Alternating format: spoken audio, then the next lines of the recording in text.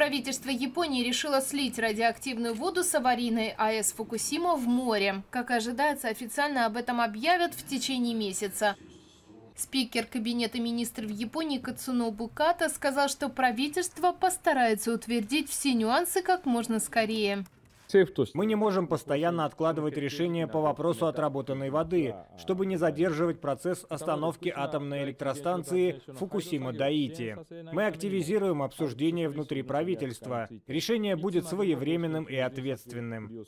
Как сообщает компания-оператор АЭС Токио Электрик, с момента аварии на станции в 2011 году было собрано уже более миллиона тонн зараженной воды. И это пока одна из самых острых проблем в процессе остановки реакторов, поскольку воду негде хранить.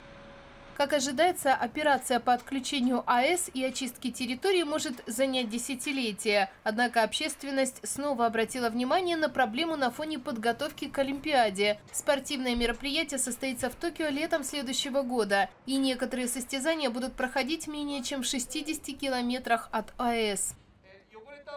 Между тем, на стадионе Йокогамы проходят тестовые бейсбольные матчи при заполненности трибун на 80%. Так власти пытаются проверить действенность мер безопасности при COVID-19 на крупных мероприятиях в преддверии игр. Пока допустимая заполняемость на стадионах Японии составляет 50%. Меры включают измерение температуры всем зрителям и установку средств для дезинфекции по территории стадиона. Кроме того, у каждого посетителя берут контактную информацию, чтобы связаться с ним в случае масштабной вспышки.